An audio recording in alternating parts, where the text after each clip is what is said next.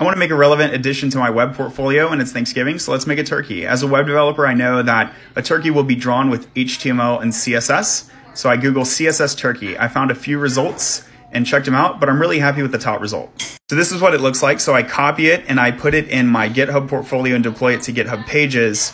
At this point, it's basically someone else's work, which is not really a plagiarism issue in programming. It's just that it doesn't demonstrate any of my skill. So how can I change this turkey, this collection of HTML elements in a way that demonstrates my skill? Well, I think the tips of the feathers can change colors, so I'll make that dynamic and add some JavaScript.